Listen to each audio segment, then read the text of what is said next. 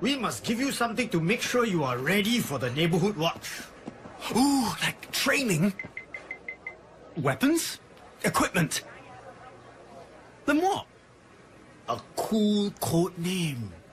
Like ours. They call us lethal weapons, you know.